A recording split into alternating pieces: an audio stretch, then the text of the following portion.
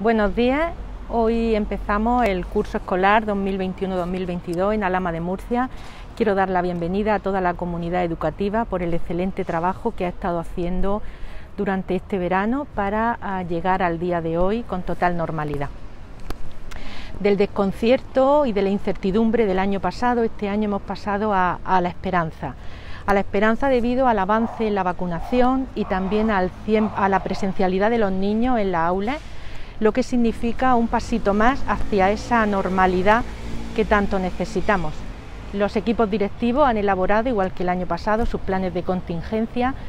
Este año, quizá eh, debido a la experiencia, que no sé si es eso más peor o mejor, pero eh, quizá le haya costado un poquito menos de trabajo, porque ya tenían eh, el año pasado mucho trabajo hecho del año pasado.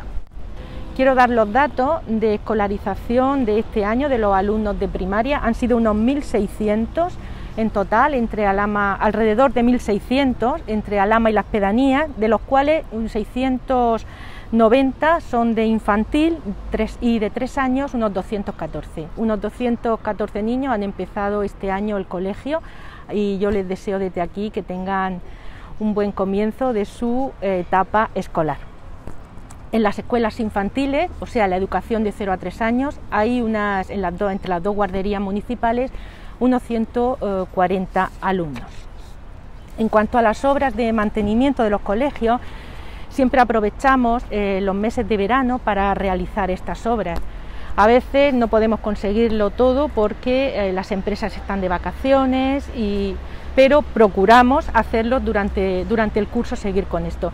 Siempre aprovechamos en verano para hacer las obras más, más grandes y que no se pueden compatibilizar con la presencia de los niños en, en las aulas.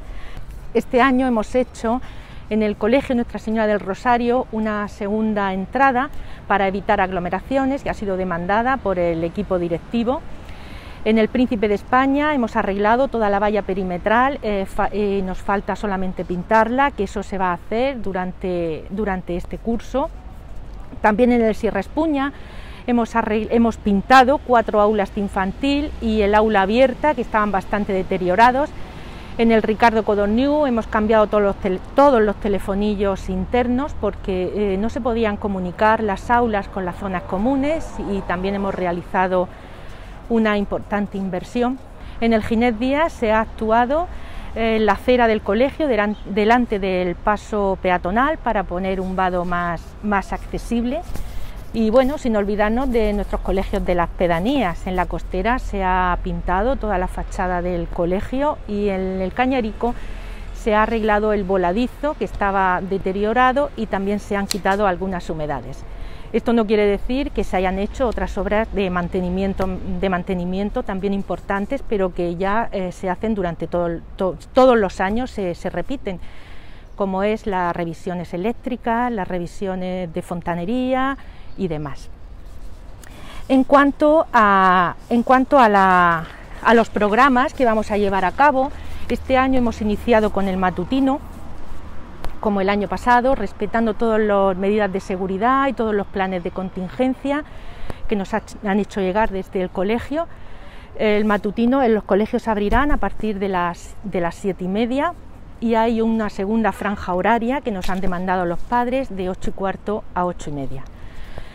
Eh, nosotros el servicio matutino sabemos que es complicado, mm, por eso vamos a seguir todas las medidas que, nos dicten desde, desde el colegio, pero consideramos imprescindible la conciliación de la vida laboral y la vida familiar y este equipo de gobierno siempre ha apostado por ello. Los demás programas iremos poniéndolos. Eh, eh, conforme vaya avanzando el curso escolar, atendiendo a la, situación sanitaria, pero siempre eh, hablando, siempre dialogando y siempre en una con total conformidad con los equipos directivos y con las AMPAs.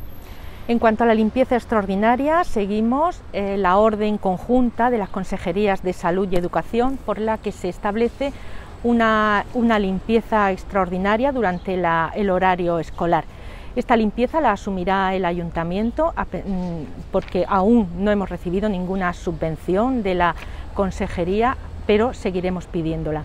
Nos consta que eh, el Gobierno central ha transmitido 13.000 millones a todas las comunidades autónomas para hacer frente a los gastos COVID, a los gastos de refuerzo COVID.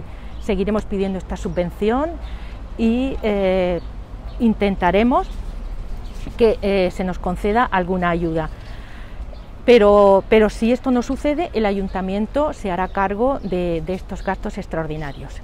Bueno, desde aquí reitero mi, mi bienvenida a toda la comunidad educativa y decirles que eh, cualquier cosa que necesiten nos ponemos desde el ayuntamiento y desde la Concejalía de Educación a su, a su entera disposición. Muchas gracias.